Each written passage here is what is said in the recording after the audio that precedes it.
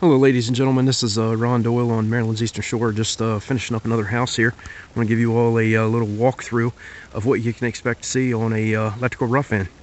This is a um, 3,000 square foot home. It is two and a half bathrooms. It is three bedrooms with the unfinished bonus room. This is the uh, two-car garage. It's pretty. Uh, it's pretty big. It's bigger than normal. You would normally see. We're going to start here at the panel. This is a uh, Homeline, a Square D Homeline 4080 panel. Got all the wires pulled in. One left to do. One of the uh, RG6 runs going to the uh, entertainment center. That's going to be mounted on a gas uh, fireplace. But I want to get this video before it gets dark on me. So what we've got going on and what we've used in this house is a uh, thousand foot of 12.2 NM wire, 2,000 feet of 14.2. 750 feet of 14.3, 65 feet of 10.2, 20 foot of 10.3, 40 foot of 8.3, 40 foot of 6.2, 300 foot of uh, RG6, and 100 foot of 8.2, 18.2, and 18.3 wire for doorbell. But uh, basically, I'm going to give you all a little a little uh, walk around of what you can expect to see. Now, so far, the the uh, I'm I'm the one that's finished. The sprinkler guy, you see the orange pipes that go through. The sprinkler guy is uh, finished. His riser comes down. Uh, this is the mud room. His riser comes down right there. He's finished. The plumber's not finished. And the HVAC guy's not finished. Uh, there's there's actually my spools that are uh, left over. But uh, this house is uh, exterior walls are two by six construction. Interior walls are two by four construction. the adjacent wall to the garage is two by six. Everything starts here. I've got a few uh, home run pulls that are going underneath. I've got one RG6 wire that is being pulled underneath. Everything else is up and overhead. As you can see, these are these are RG6 uh, TV wires. And uh, what I like to do is uh, drill in over two oversized holes, and I usually split the difference. And I try to keep them as straight as possible so that my pulling can be done by one person. So I have to pull from have to pull from the panel down these series of holes and pull extra slack right at this point here. And then I pull them down those sets of holes and down those sets of holes. But uh let's let's start you out at the front door. Got a uh, two-third view uh, double French door coming in. This customer opted for four ceiling cans right there. Doorbell on the right hand side. And uh, we're going to do a walk around. Uh, I've got one outlet on the uh, front of the porch on that side. We've got one outlet on the front of the porch on this side. We have got, you can see that white box. That's an outlet for the back deck area here. They opted for two lights uh, through the back wall. Got a light there and got a light right there, right where that hole's at. But uh, as you're coming through this front door area here, this is the uh, foyer area. This area right here is an office area. Uh, lots of windows. Got a nice, uh, got a nice view. And this is uh, waterfront property. There's a creek that goes around through the back of the property.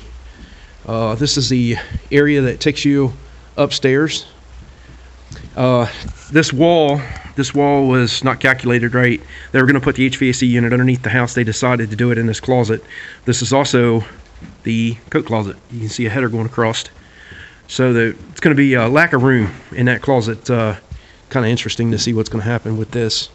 The uh, space that's under the stairwell right here is dead space. So coming in this front door, as you would normally shut the door, this is the uh, it's this is the main door. This is the secondary door. Your uh, light switches are on this side. Uh, the customer opted for a post lamp outside.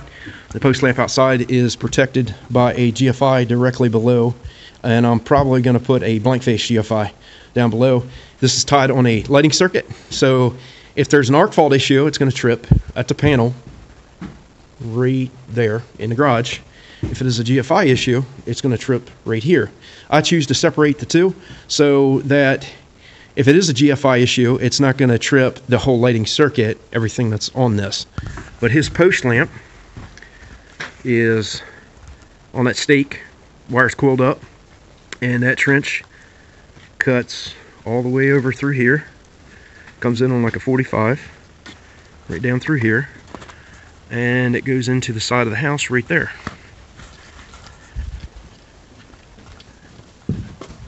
Another switch is for this can light. That's a smoke detector. Uh, another switch is going to be for this overhead light. And the other switch is for the four can lights that's outside.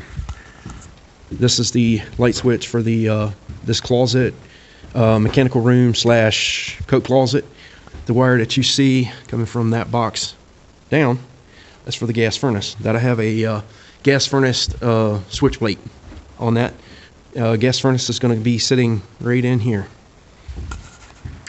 Now, coming into this room, this is the great room, large living room. This is a bump out for the gas fireplace. Uh, gas guys have not came here yet. This is an in-the-wall TV box. And I have a conduit pole, which is an inch and a half, that goes from there that can be fished for your low voltage on this side, your 120 volt on that side and the entertainment equipment is going to be coming out through here and I've got a cut box. Basically cut the, the back of the box out to make a low voltage ring for it. And uh, you can do your future poles with your rope through your uh, conduit. Uh, this is for the entertainment equipment to power power it up. On this particular side over here get an outlet. He's going to have built-in cabinets on this side. He's going to have a built-in cabinet on this side to house the uh, TV equipment. And uh, wire comes from this living room circuit. It's fed underneath the house. It's coiled up down in here. And this is for the uh, built-in gas fireplace. So as you're coming through this front door coming in, I try to keep my switches separate, right side and left side. This side pertains to this room. So it's less confusing to the people. First switch that you come to, this is four ceiling cans. Two, three, and four that kind of lights the uh, the perimeter. And then the other switch that's at this box here is going to be for a remote controlled fan light combo right from there. Now, uh, this is the switch for the uh, office area. And every box that I use in a room, I do a fan rated box. So if the customer ever chooses to, they can install a fan there later. He's coming into the living room. If you look to this side, you've got three gang switch box and you've got ceiling cans in the kitchen. This is the kitchen area. All this is kitchen area right here. Kitchen stops somewhere over in here and down to here. They've got a total of five cans in the, in the uh, kitchen. One, two, three, four, and five. Now the other switch is uh, for the pendants that are over the island. He's going to do three pendants. And if you see this wire coming across here, you can see this wire how it zigzags back and forth. Now these these uh, Romex staples are stapled loosely. This guy did not have a kitchen layout for me to to follow. So as you can see, it ends right there. Now I'll what I'll end up doing is using a hole saw after he gets the island installed. It's going to go somewhere in here. I'll do a uh, laser off the center of the island and I'll shoot it up and I'll do three equal measurements, drilling a hole saw through the ceiling. I can find that wire and I can do my tie-in.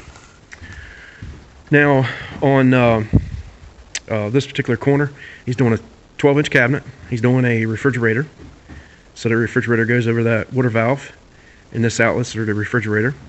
And then his cabinets are going to start from here go to the corner. Now, code requirement is you have to have one within 24 inches of the corner, which that one suffices that. And then you have to have one no more than every four feet apart from there to there. And you have to have one from the edge of the refrigerator over to that point, which will be 24. Like I said, this one will cover this piece of cabinet. And then we've got another outlet that's over here, and it's just within four foot of this outlet. Now, right here, you got the uh, 8.3 coming down for the range. Right down here. So the range is going to sit somewhere in here. He didn't have any of this laid out, and I requested it and he gave me a center to center measurement from the center of the range to the center of the doorway. And he also gave me a measurement from the edge of the doorway to the center. His measurements were within three and a half inches of equaling out. So got the range established, got the uh, built-in microwave established up here. And Then from his range measurements, I'm within 24 inches of the edge of the range for the first outlet. Now I'm within four foot from that one to that one. Now his outlet, his island, or excuse me, his cabinets are going to stop somewhere in here. I've got to serve another wall area right here, so there's going to be an outlet there. And this is the dining room area, so I've got one in, one here, one there, and one there. All this is dining room area. Now, a lot of people might not know it, but uh, this is a sliding door. This is the non-functioning part of the sliding door. This accounts for usable wall space. A lot of people don't know that. So within six foot of the edge of this this door, I'm not going to slide it open because the snow's going to fall in. Six foot from the edge of this doorway, I have to have an outlet. That's what that outlet's for. And that outlet to that outlet right there is within 12, and that one to that one is within 12. Now you also have to have one within six feet of the edge of this doorway, breaking up the distance between these three outlets. This is just the best place for it. This is the uh, this is the mudroom area, egressing into the garage. You come in, you'll be able to turn your lights on. Now I opted to put them just to the edge of the doorway here, because if I put them on this side, they're going to fall behind the washer and the dryer, which I do not want to happen, especially if they do choose to do a front load washer and dryer. You're always going to have to reach behind a washer and dryer to turn them on. So definitely didn't want them here. Customer was all right putting them here. Uh, I got a four gang box. Um, he opted for two lights on either side of the garage door. There's one there. There's one on that side. then you've got two overhead lights in this garage, which are there and there. So one is the uh, exterior garage lights. One is the interior garage lights. One is a spotlight. He's got a spotlight center of the garage door, 20 foot up on the side of the house, so they can play basketball to the edge of dark. If it gets dark on them, they can keep playing. It's going to light basically the front of this garage area up. And then the other switch is for the light that's overhead as you come into this mudroom. Now, this area here is a kitchen pantry. This outlet here, because it's labeled on the print as kitchen pantry, this outlet is tied into your kitchen counter circuit. This is a lighting circuit. This is tied for your overhead light. This room right here is a half bathroom. It is big enough to do a full bathroom in this area, uh, but for some reason, me talking to the plumbers, uh, the measurements weren't working out. So they decided to do the uh, sink, which I got a vanity light here, deciding to do a toilet here, and all of this is open floor space. Uh, this window kind of throws the um, the idea of making this a full bathroom. It kind of throws it out the window. So they're getting a half bath in here. Washing machine, dryer on that side, dryer box. They're doing a Rinnai. This is the hookups for the Rinnai. This is my outlet that powers the Rinnai. This is another outlet that I give them for doing a folding table over here. Now, coming back through, we're going into the kitchen area. I took you to that switch location over there. Now that switch location over there has a three-way. Goes from here to this box here, and this turns on the kitchen cans. And the other switch over here turns on. It's a three-way. Turns on the diner light to that doorway. Now from that doorway, as you're coming into the house, you'll have a three-way. Over there, that'll control the ceiling cans in this living room. The other switch, like I was telling you before, is the two outside lights. There's one there and one right there. And the other switch controls the kitchen cans. So there's a four-way circuit. There's a four-way circuit on these kitchen cans. You can switch it here, there, and over there. And coming through the house, let's uh, take you upstairs just so you got an idea what this looks like. All this is this is a wall, but all this is loft area. So they're going to have hand railing from there all the way over to that wall. This is temporary construction railing that has to be up to code uh, so that the construction workers don't get injured. But uh, I'm going to walk you all upstairs. Now, sorry, I didn't tell you the uh, rest of the outlets. Uh, this outlet here is within uh, six foot of the edge of this doorway. And then this serves the kitchen cabinet area. Or I say kitchen cabinet, entertainment cabinets. Uh, more like a dry bar. This is more of an entertainment area. Have to have an outlet within, uh, uh, starting over here, starting over here, uh, edge of this doorway, so you don't get confused. Edge of this doorway, this is the functioning door edge of this doorway over to that outlet is within six feet, and then from that outlet to that outlet is within 12. Now, I usually like doing my outlets consistent, and if you notice that outlet's low and that outlet's low, something happened with the windows. They ordered uh, transoms on these windows, and they had to end up cutting these down lower, which I had to drop my two outlets there and there. Like I said, this is the built-in gas fireplace TV box. This is where the flat screen TV is going to be. Now, uh, taking you through here, this wall is over 24. Well, technically you need an outlet. Got it. Outlets in the foyer area. This is this foyer area is considered living space. It's not a hallway, it's a foyer. So I have to have one on this corner. This outlet's not going to get used that much. Um, believe it or not, I need an outlet over here. The inspector would catch that if I didn't do it. That outlet, like I said, is going to be a blank face GFI that protects the post lamp. So that one doesn't count, and this one does. And that outlet has to be within six foot of the edge of the door, not the trim, not the casing, the edge of the door. From here to there, it's got to be within six. Got an outlet over there serving this corner. You got another outlet over here serving this corner. So we're going to walk up the stairs. It does a 90 degree turn on us.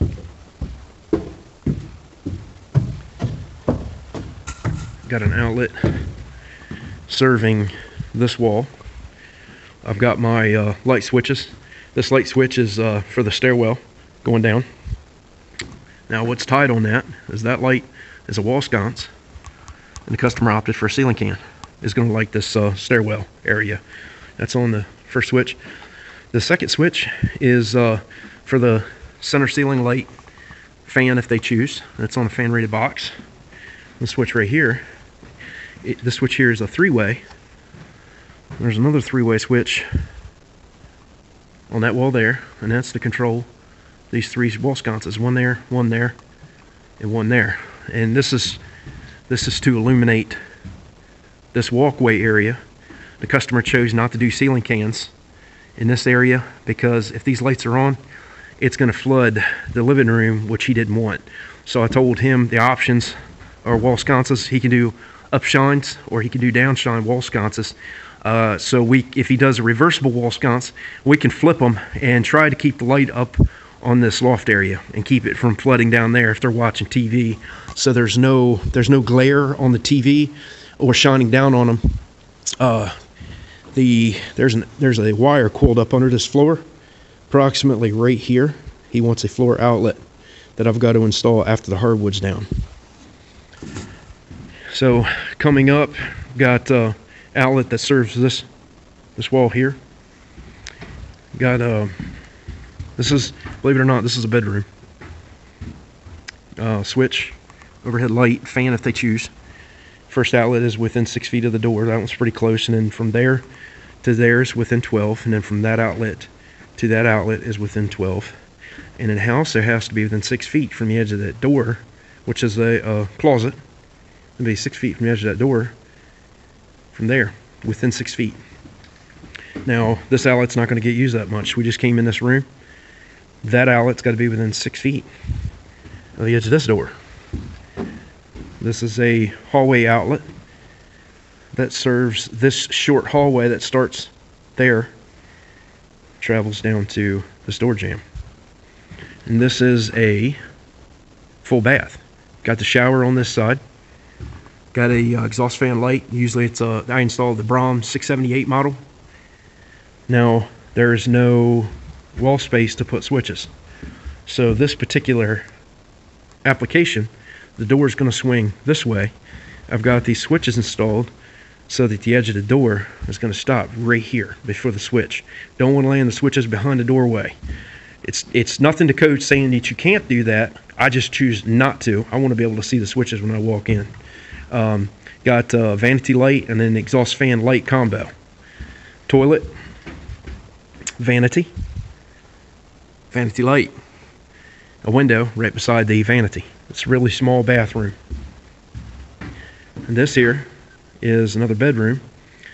Got to have an outlet within six feet of the edge of the door to the first outlet. And you got a double closet. And then you have to be within six feet from the edge of that door, closet door, to that outlet. Now I'm within 12 feet from that outlet to that outlet, and I'm within 12 feet from that outlet to that outlet, and I'm also within six feet from the edge of that door to that outlet. All right, I'm leaving this leaving this bedroom. Now this is this is a bonus room over the garage. You can see the see the garage right there, and this is a bonus room that is unfinished. So he's had me prep it with, we had a bird flying around in here. He's had me prep it with a fan rated pancake. One switch. We have a switch here. This is for the attic light. Gonna have a pull down staircase right here. And that covers the attic light and the light for the bedroom. Or I say, I'm sorry, not this is not a bedroom. This is a future bonus room. None of this will be sheetrocked. To just have insulation. It's gonna have insulation in this wall and then I have insulation in this wall here and the rest of it won't be done the owner's choosing to do this at a later date now I did a future TV location here and a future power port right here I'm going to put a blank plate on it this room isn't getting any power uh, there's no heating air equipment in here and I do not have to turn that on all right I'm going to leave this leave this bonus room this area right here this loft area they're going to use for gaming, game room. So it's it's open to the downstairs uh, living room area.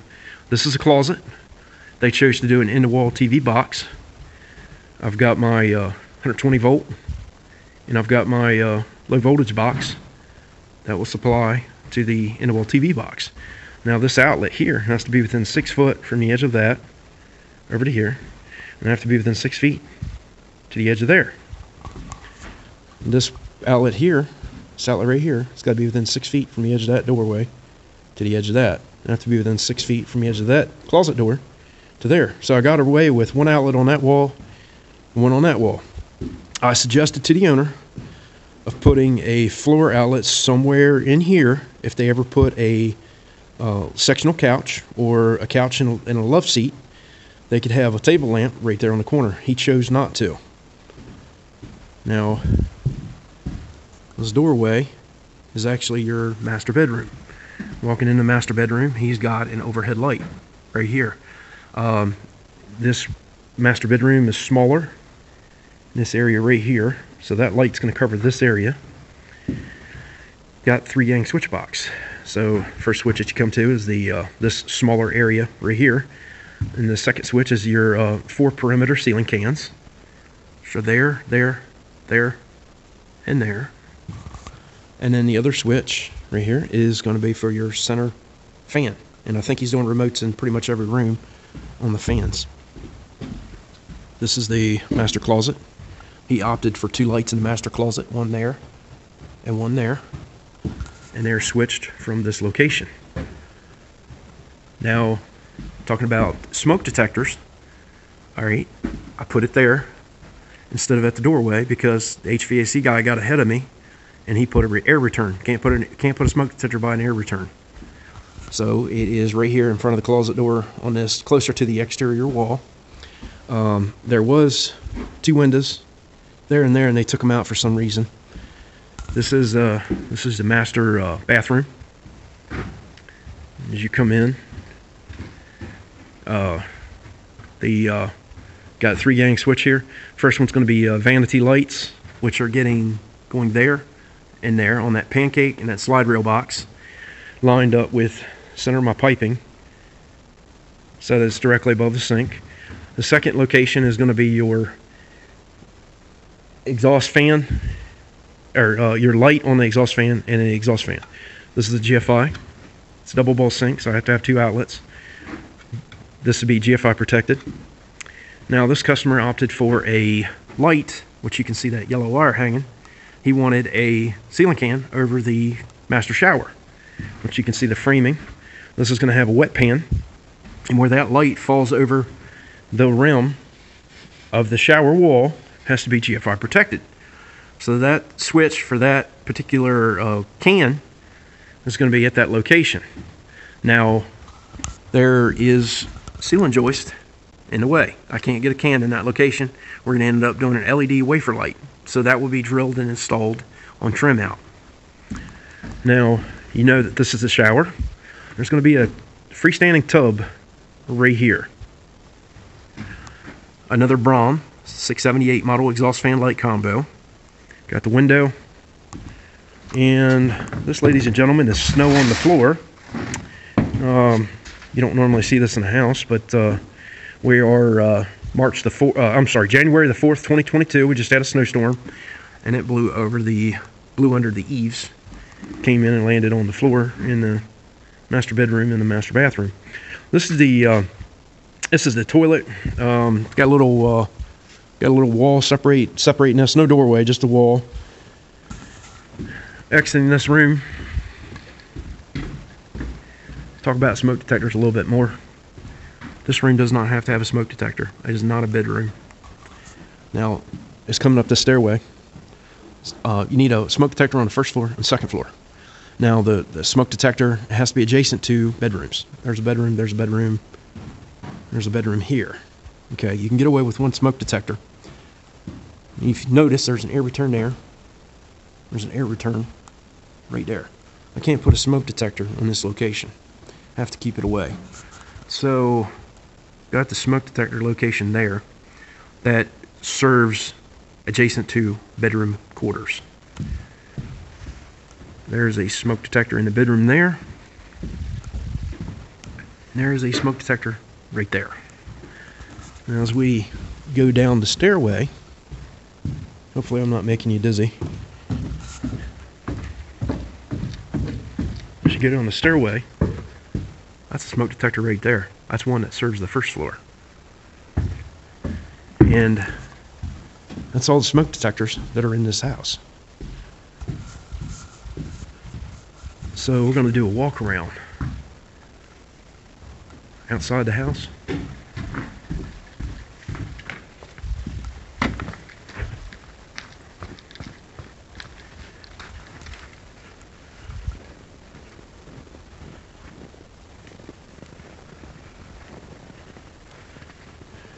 Crawl space egress.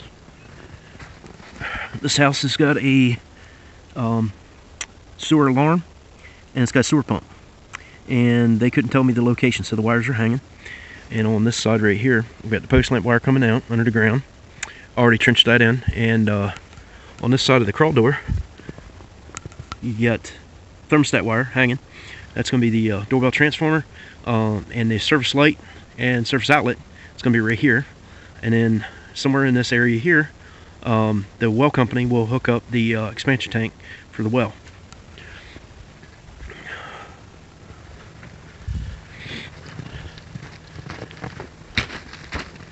this area here I get a patio or deck in the future. Hunter's not doing it right now. Those are those two wall lights I was telling you about. One right there, one right there.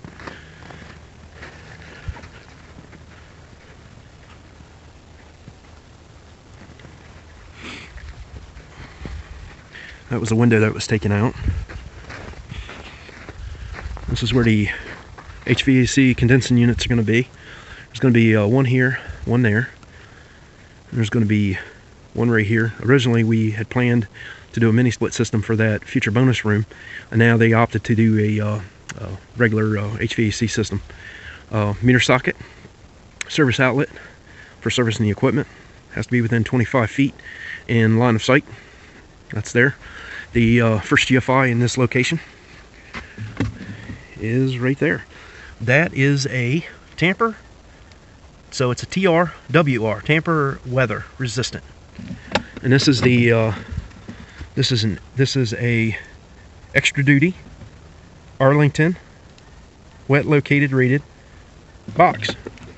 It's got a built-in J channel that I use on all the houses. So this installing this um, actually uh, uh, gets me out of the way of the vinyl siding guys, and it doesn't hold them up. Now they have to flash around this Uh, got the meter socket installed. I already got it flash taped around it with uh, 5 tape. Uh, this is a condensate discharge. Got my Arlington uh, bridge block. These are my uh, CATV cable wires coming out. Now, looking at this garage, got a light there. Got a light on that side. And that 20 foot tall light is in between those two windows. It's going to shine down for this driveway area right in here. The driveway is going to run right out where those tire tracks are.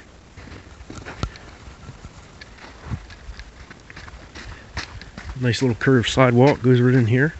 This is where your post lamp is. This is where guests would come walking up to the house. So, lots of windows, lots of lights.